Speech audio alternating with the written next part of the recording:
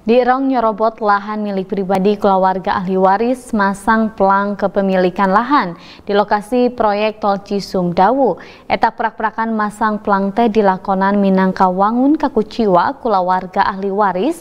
Dumi salila iya pihak ahli waris taca nampa parurugi patali jengketak ngabebaskan lahan dina proyek tol Cisum Dawu.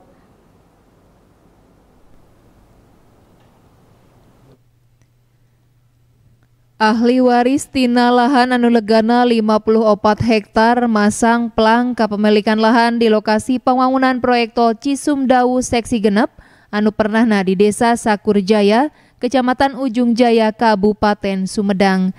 Eta pelang teh ditulisan eta tanah milik ahli waris anu ngaranna R. Kasan Jaya Diningrat dumasar karena putusan PT UN Bandung tahun 2005. Kuasa hukum ahli waris Satria Prayoga ngebrehkeun ketak masang plang dina tanah anu legana 54 hektar teh mangrupa tanda tinu boga anu sah.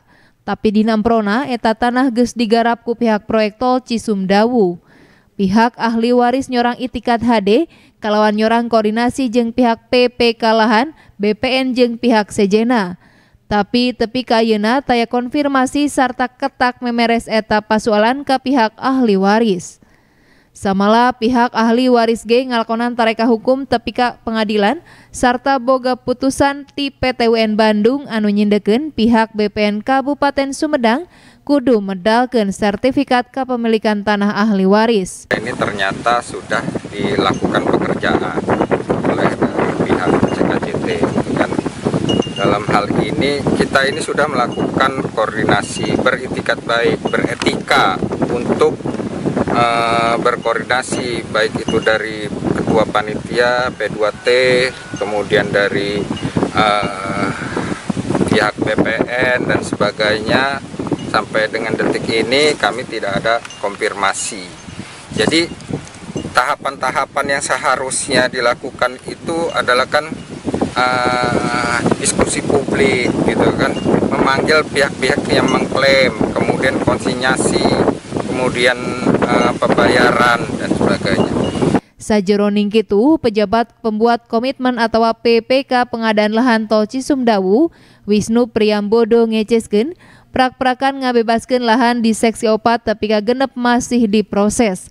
Ari lahan anu geus dibebaskeun ngahontal 35 persen. Yang mengklaim kawasan itu adalah milik mereka, Pak, dan bukan kewenangan saya lah untuk memberikan statement kaitannya dengan siapa pihak yang berwenang kaitannya dengan tanah kawasan hutan tersebut. Seperti itu sih.